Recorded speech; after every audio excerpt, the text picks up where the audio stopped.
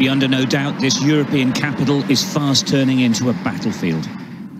There are troops on street corners and under bridges. Armoured vehicles constantly crisscross the city, bolstering positions, waiting for the enemy. The Ukrainian military are fighting, but they will struggle to hold on. Tanks, APCs and trucks maneuver beneath the road arches. They're attempting to shield themselves from attack from the skies, holding on until the Russian infantry and paratroopers attempt to get further into Kiev by road and on foot. Well, that's the expectation anyway. There's been a huge exodus from the city. Those left behind attempt to thumb lifts, heading west. Others stop passing cars and ask if they're heading their way. More often than not, it's a fruitless hope. The air raid sirens are irregular now. It's scary stuff. With their belongings, they try to hurry off the streets. Most head for the metro stations, trying to get underground. Mums and dads and their little ones, trying to find safety if they can't find a way out. Everyone feels exposed. Everyone feels vulnerable.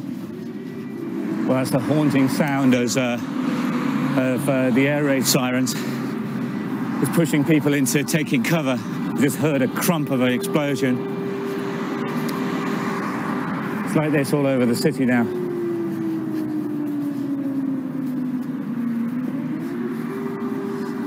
There's APCs up here. Exactly where and when the Russians may attack a new target remains unknown, of course, so there's constant movement. Much of the city is now deserted. Hardly any people in the centre of town, just a few cars driving between homes or looking for a few shops that are still open and on the streets as well, civilian militia, armed and ready to support the army.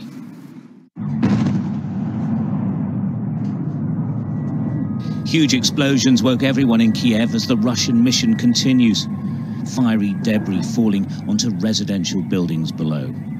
This is life in Kiev now, the country's president making exactly that point.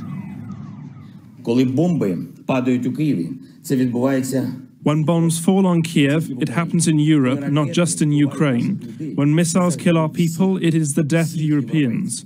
I demand greater security for Europe, greater protection for Ukraine as part of a democratic world.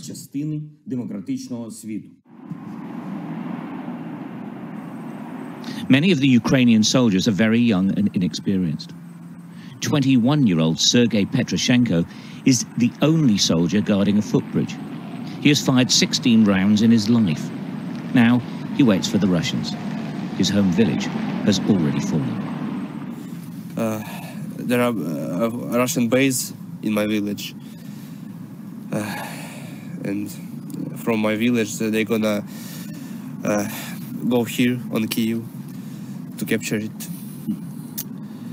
Yeah, it's really scary and terrifying. I am uh, called to my parents they really scared.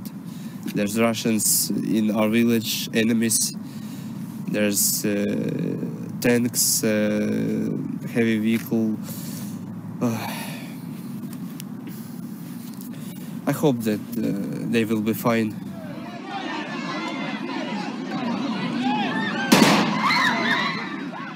In their thousands, they descended on the central railway station, trying to get seats on any train heading south guards firing into the air, trying to maintain order. It rarely works with people already traumatized. It was chaotic and desperate, but that is what it's like here now. The fear of the unknown is what's so difficult for the people. Ukraine is holding its breath while the world watches on. Stuart Ramsay, Sky News, Kiev.